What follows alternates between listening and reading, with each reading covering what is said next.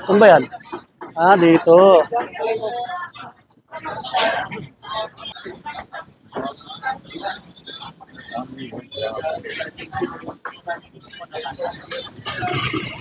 May mga iPhone din si Sir. oh.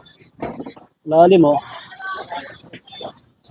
Yan, baka naghanap ko yun ng mga ano, ah, tablet, iPad. Dito lang yan, oh, sa stall XC19. Yan kay Sir. Bayan sale sila, no?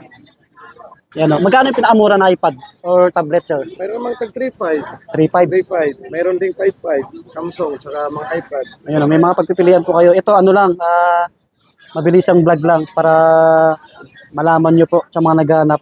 Yan, may mga iPhone din, no? Mga murahin. Magkano pinakamurang iPhone, Sir? Mayroon tag 3.5, Oh, 4.5. 3.5, pinakamura. Yan, dito lang yun sa...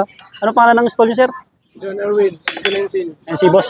Basta nasa stall X19. Oh, maraming. Sa tablet, pinakamura magkano po? May 3.5, may 5.5. Meron. Oo, oh, 3.5 pataas mga open. Ah, okay. Yan, yan, yan. Pagpipilian naman kayo. Yan, mga iPad. Okay na, magkano ka, sir?